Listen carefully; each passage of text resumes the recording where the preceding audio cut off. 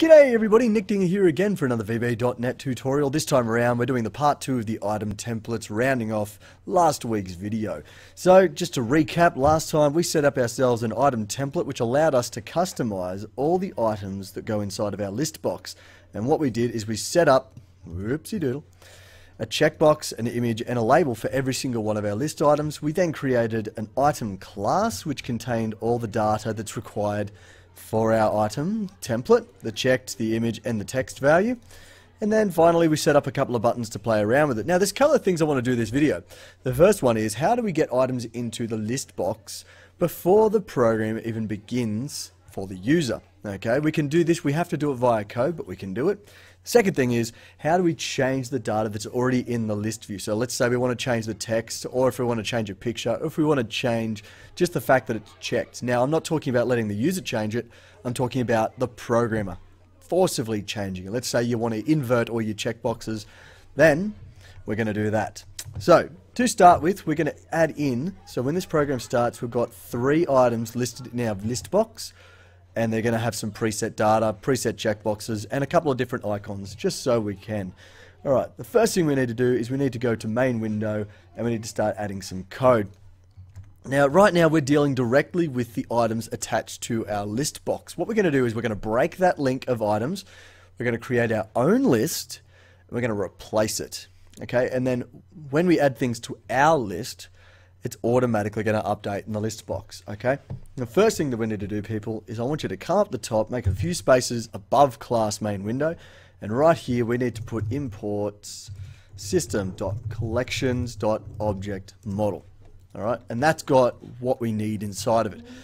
The data type we need is called an observable collection. Now, observable collection is one that when you add things to it, remove it, edit it, that it automatically notifies different controls and different objects it's attached to. Okay, so what we're going to do is we're going to create our own collection just here. So dim items as a new observable collection. Just press space and it should put the bracket and of in for you. And it's going to be of our item class. Okay, so we've made a collection of the class that we made in the last video. Alright, so when we add things to these items, it's automatically going to add them to the list box. When we remove things from this items, it's automatically going to remove things from the list box. You can use a regular collection, but the problem is it does not automatically update. You'd have to manually do it. That's why we use an observable collection instead. Okay, now we need to get into our window loaded event and add a little bit of code there. The first bit of code is just going to be us adding items to our list box. The last line is going to tell the list box where its new items are coming from. Okay, so let's go to main window. I'm going to click up here next to width and my diamond. I'm going to go down the next line, come back a few, and our event is loaded. Press equals, let's do a new event handler for that one. And this is where our code's going to go, window loaded. So there it is. So the first thing we're going to do is I'm just going to add some items into my my um, items collection. Okay, so let's just go items, no, items dot add, and then we're going to go the exact same way we added them in the last video under the add button.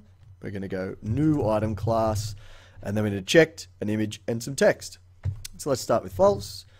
Okay, new URI for the image, and it's going to be just my clock image again. So pictures, icons, clock.png, uh, and then the text, let's call it item number one.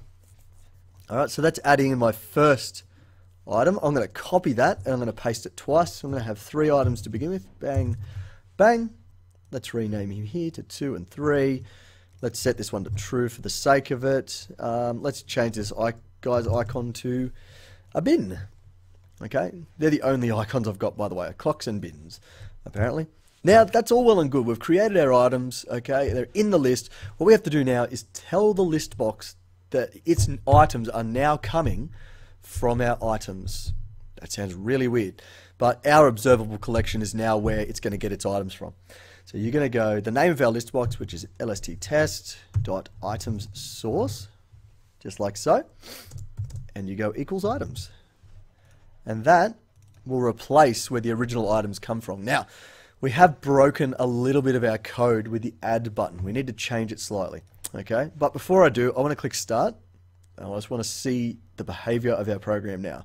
Should just come up, got the three items. You can see that the icons are set and that checkbox is checked. And this still works. By the way, the is checked. It says true. Then it says false. That still works. The one that doesn't work is our add. And it's because we're no longer allowed to add things directly to our list box now that we've changed its source. It needs to go directly into items. That's it. That's the only change we need to make.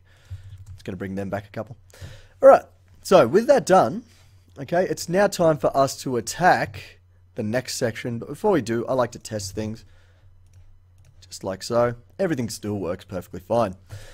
So that's how you would add in items before the program begins. I mean, that could you don't have to do it like that. It could come from a database, it could come from a text file, it could come from a spreadsheet, it could come from anything, okay, or even the internet for if you really want to go that far. Now, the next stage is getting it so we can change the list items while the program's running. So let's just add in a button which is going to test this code. I'm going to copy and paste this guy. I'm going to get rid of his event and we're going to make a new event. And it's going to be button click 2. And we're going to change, whoop, not check, change, text. So when we click on an item in the list box, we click on this button, it's going to just simply change the text of the selected item.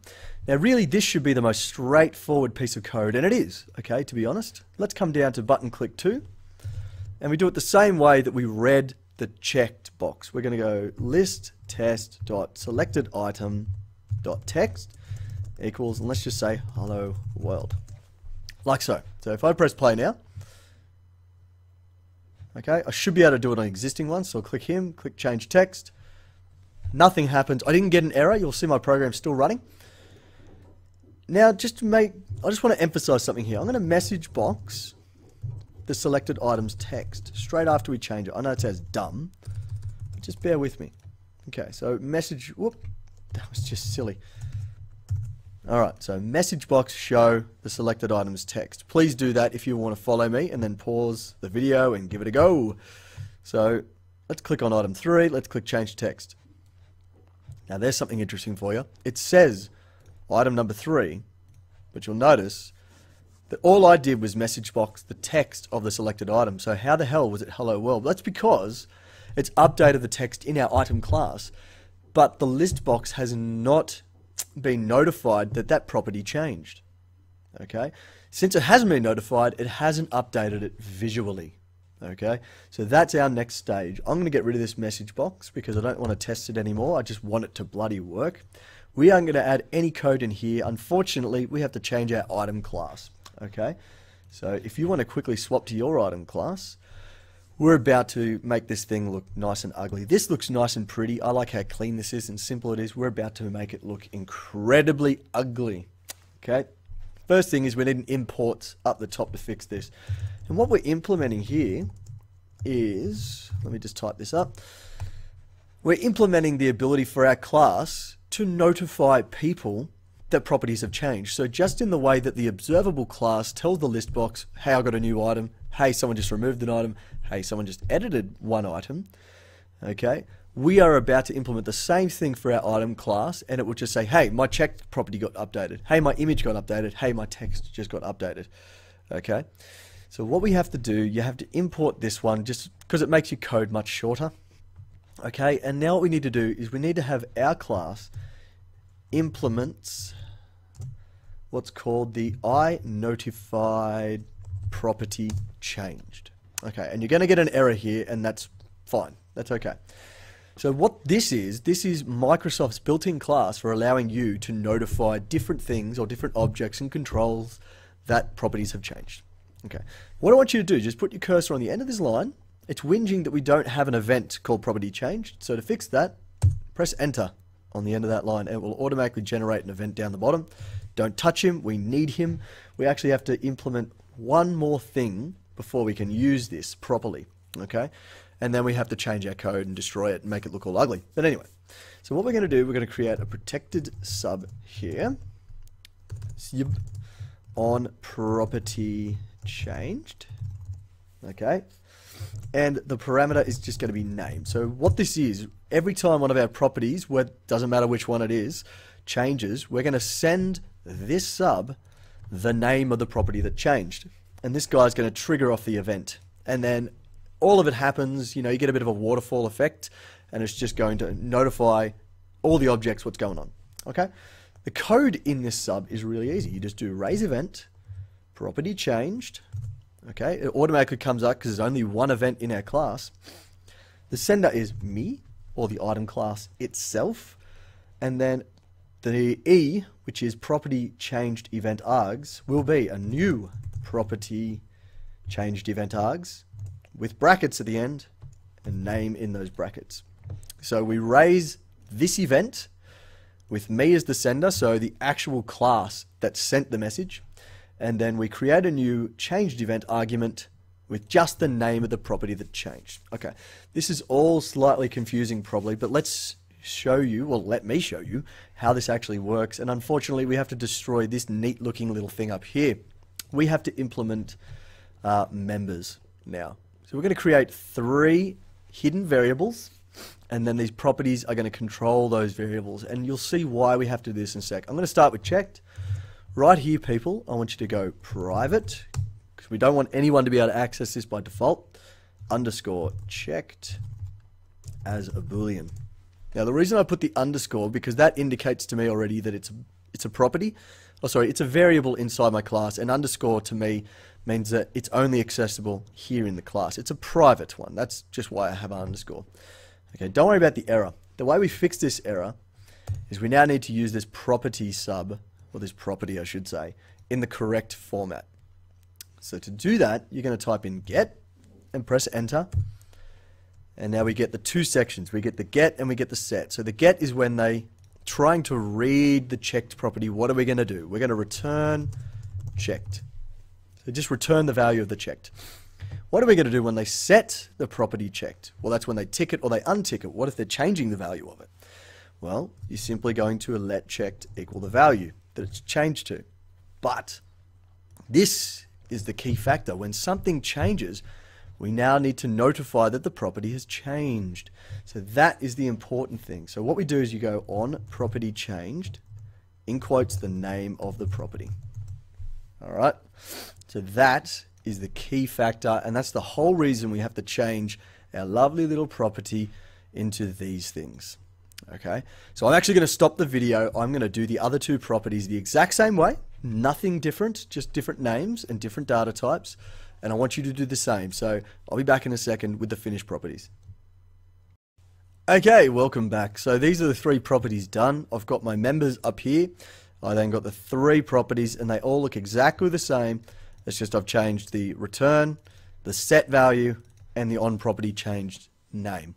So please make sure you've got all three of them set up properly and you're ready to continue. So by doing all of that, it's a very long-winded process, I know, but allowing us to do that, now we'll update our list box automatically without doing anything else. So let's just try this button again, this change text. So I haven't changed the code at all since we stopped the video. And there you go. So just implementing that notified property changed now forcibly tells it to update the text box. So what we're going to do now, just for the sake of it, we're going to implement a couple more buttons, okay, just because we can, all right?